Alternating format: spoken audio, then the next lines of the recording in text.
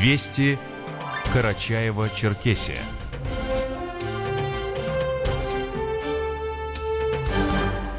Здравствуйте, в студии Рита Нерова и вот некоторые темы. Следователи выяснят обстоятельства двойного убийства в республике. Карачаево-Черкесский филиал Росгидро выпустил в реку Кубань более 870 тысяч мальков кумжи. Дабай и Архыз в топ-3 самых популярных горнолыжных курортов в России. И в республике завершился досрочный период ЕГЭ 2023. Далее подробности. Сегодня мусульмане всего мира отмечают главный праздник Ураза Байрам. Глава Карачаево-Черкесии Рашид Тимрезов, председатель Народного собрания Республики Александр Иванов и премьер-министр Республики Мурат Аргунов поздравили жителей региона с завершением священного месяца. В тексте первых лиц республики говорится Дорогие земляки, примите теплые и искренние поздравления с праздником Ураза Байрам. Этот светлый праздник воплощает идеалы сострадания и добрососедства, укрепляет в людях лучшие чувства, помогает утверждению мира и благополучия в обществе. Знаменуя собой завершение священного месяца Рамадан, праздник Ураза Байрам символизирует духовное совершенствование и благочестие, которые содержат в себе глубокий общечеловеческий смысл и близки людям всех вероисповеданий – Милосердие, доброта, забота о ближнем и сплоченность, исторические эти качества служат основой мира и согласия в нашей России и служат опорой для нашего народа в самые трудные времена. Дорогие земляки, желаем вам крепкого здоровья, радости, мира, согласия и процветания. Это был поздравительный адрес главы Карача-Черкесии Рашида Тимрезова, председателя Народного собрания Александра Иванова и премьер-министра Республики Мурата Аргунова. На площадке регионального отделения партии «Единая Россия» прошло совещание всего цифрового содружества нашего региона.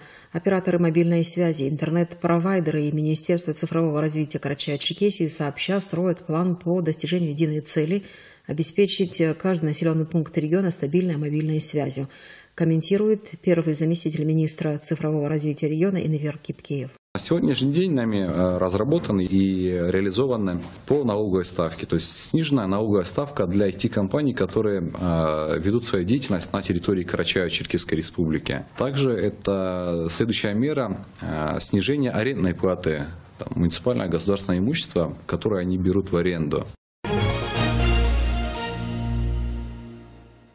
25 многодетных семей Черкеска получили землю в южной части города. С начала исполнения оригинального закона власти республиканской столицы раздали данной категории населения около 8 сотен участков. Информацию комментирует заместитель мэра Черкеска Заур Тугов. Для постановки на учет в качестве нуждающихся в получении земельных участков граждане должны соответствовать следующим требованиям. Это дети должны быть рождены не ранее 17 июня 2011 года. Также в собственности у семьи не должно быть 15 квадратных метров на каждого члена семьи. И также от государства человек не должен был получать собственность земельный участок. Поэтапно невозможно проанализировать все земельные участки в разных частях города. Поэтому управлением имущества прорабатываются определенные кварталы.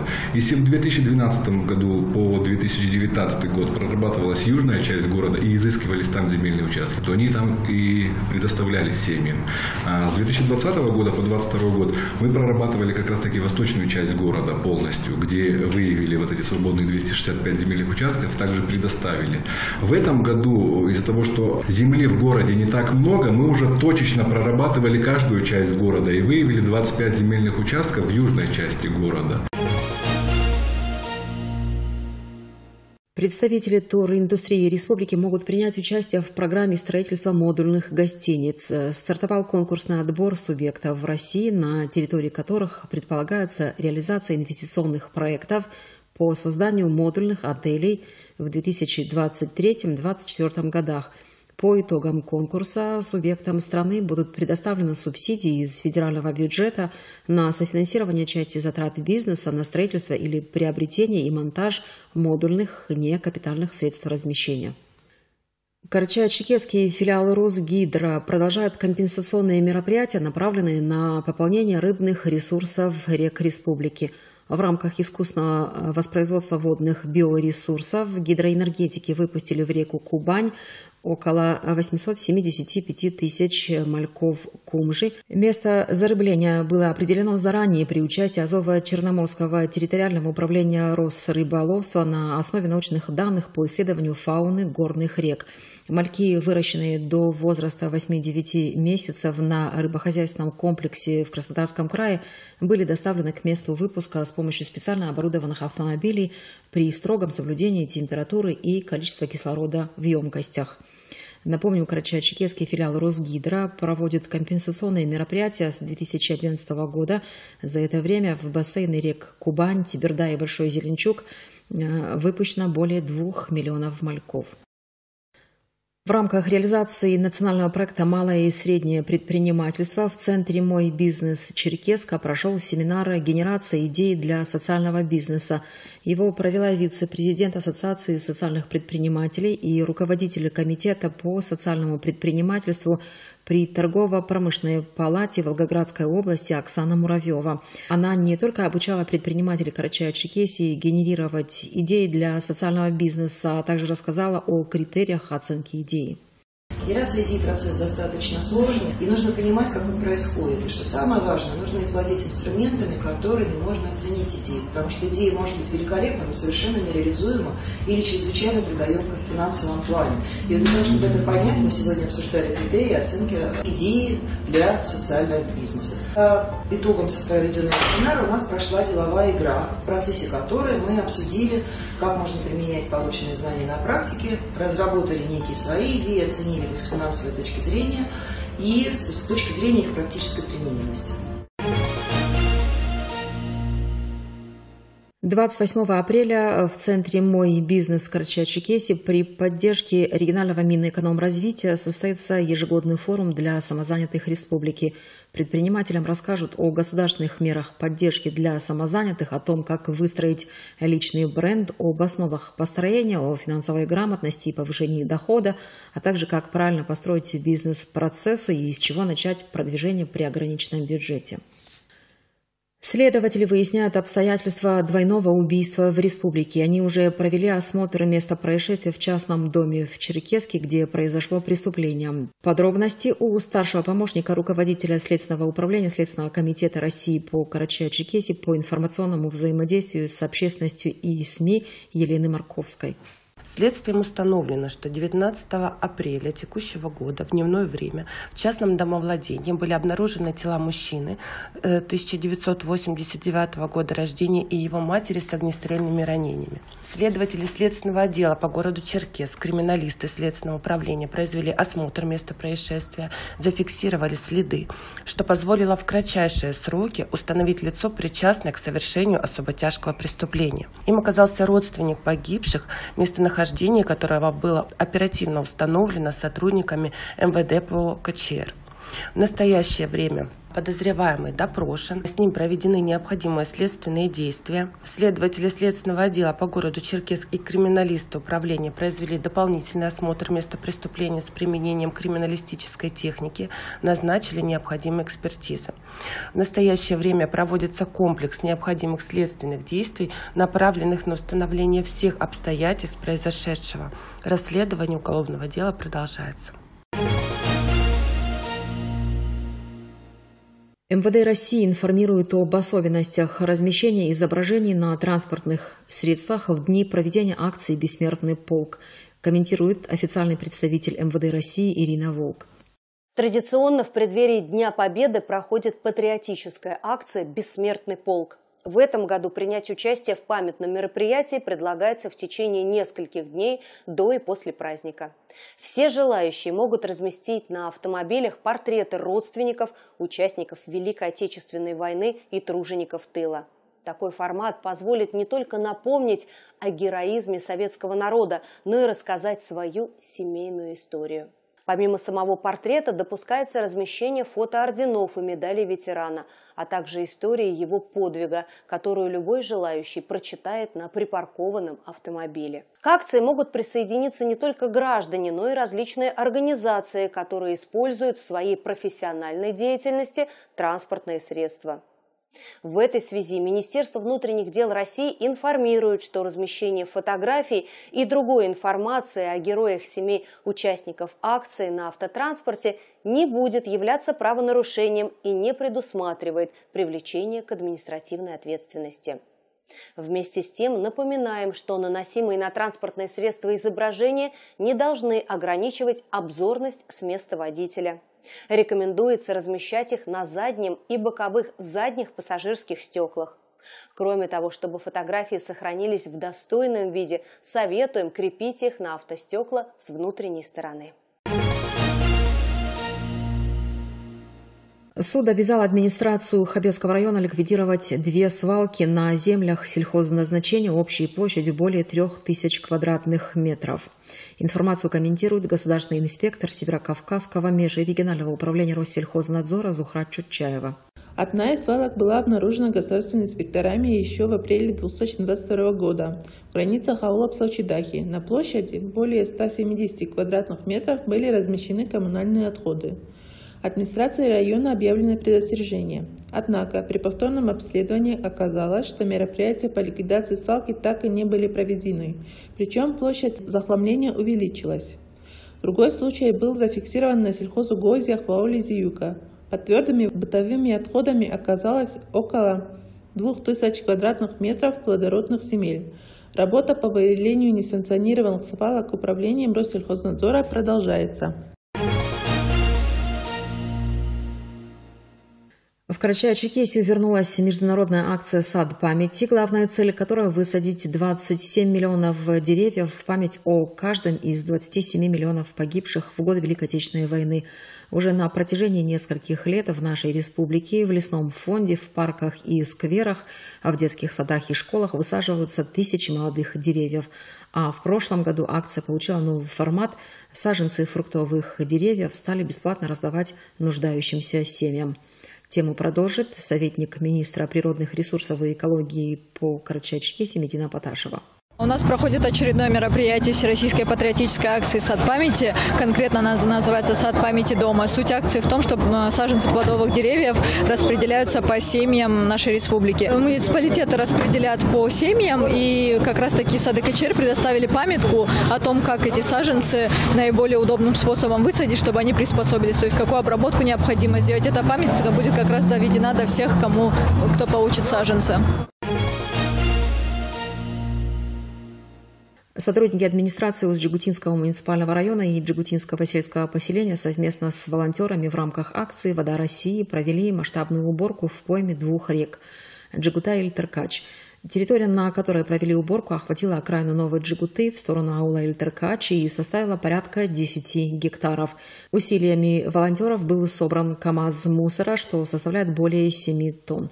Добровольцы трудились целый день и отметили, что основной объем мусора составили бытовые отходы, вывезенные местными жителями и захламление от проезжего транспорта. Напомним, в апреле в Карачаево-Черкесии проходит месячник по уборке и благоустройству, который завершится 28 апреля масштабным республиканским субботником в поддержку Всероссийской акции «Вода России». Донбай и Архыз вошли в топ-3 самых популярных горнолыжных курортов России. А компания One Two Trip составила рейтинг самых востребованных в стране курортов. Популярность оценивали по количеству бронирований туристами отелей у склонов. В основе классификации процент забронированных отелей на каждом горнолыжном направлении – так, лидерами завершившегося сезона стали Красная Поляна Краснодарского края, Горный воздух Сахалинской области, Архыз и Дамбай Карачай-Черкесии, Шерегеш Кемеровской области и ряд других. Напомню, горнолыжный сезон на курорте Архыз продлился с 17 декабря по 17 апреля, а на курорте Дамбай сезон планируют продлить до начала майских каникул. Более 650 тысяч туристов посетили Архыз в зимнем сезоне. Такие данные приводит представитель компании «Кавказа РФ» Марьяна Белая. 16 апреля на Архизе завершили горнолыжный сезон 22-23. Он продлился 128 дней с 10 декабря, и за это время на курорте отдохнули 653 тысячи человек. Несмотря на то, что погода этой зимой не радовала, практически весь сезон работали все трассы, все 27 километров, э, выручила искусственная система снижения и, конечно, профессиональная слаженная работа всей команды курорта. С 17 апреля Архыз работает уже по летнему расписанию. Это значит, что наступило время прогулок на канатной дороге, походов к Софийским озерам, экскурсий по храмам Нижнего Архыза, конных прогулок, велосипедных, активностей в веревочном парке Архыза и на трассах для маунтинбайка. Всех, кто еще не готов расстаться с горными лыжами или доской, приглашаем на высокогорный Эльбрус – наш курорт в Кабардино-Балкарии, где кататься обычно можно до середины лета, или наведочий всесезонный курорт в горах Чечни. В Карачаево-Черкесии завершился досрочный период ЕГЭ-2023. Экзамены прошли в штатном режиме без организационно-технологических сбоев, а в них приняли участие 209 человек, в основном это выпускники прошлых лет. Для них был организован пункт проведения экзаменов на базе школы-интерната имени Латоковой.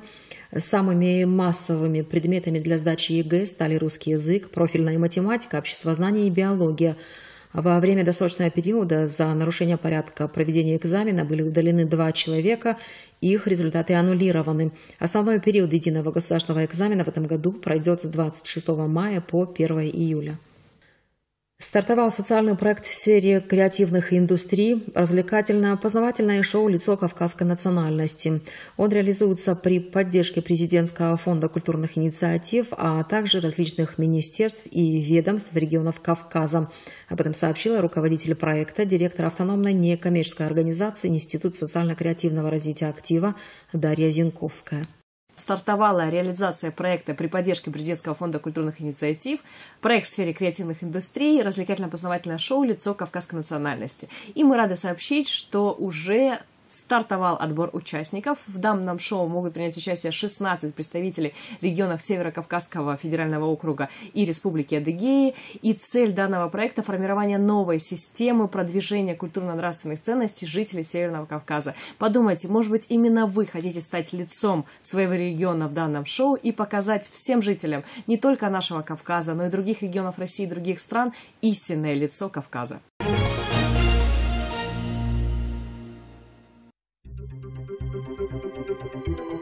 Радио России, Карачаево-Черкесия, погода.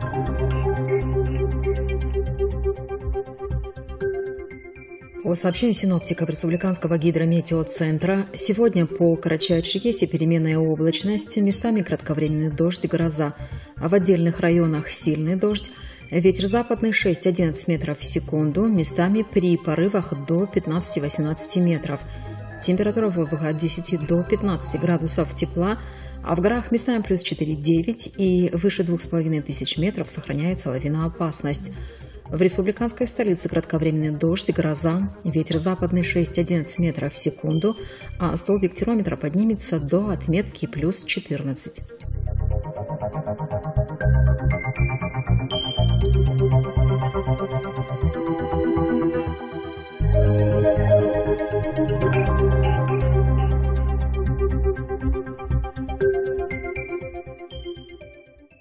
На этом информационный выпуск завершен. Его провела Рита Нерова. Приглашаются кандидаты для прохождения военной службы по контракту. Поступая на контрактную службу, вы выбираете честь, отвагу и доблесть в качестве своих жизненных принципов. Служба по контракту – это стабильность для вас и вашей семьи, достойное и гарантированное денежное довольствие, жилищное обеспечение, современное обмундирование, серьезная профессиональная подготовка, новейшие системы и комплексы на вооружении. Стань героем для своей семьи и для своей страны. Делай то, что действительно важно. Обращайся в военный комиссариат по месту жительства или пункт отбора на военную службу по контракту по телефону 8 86 52 24 99 51.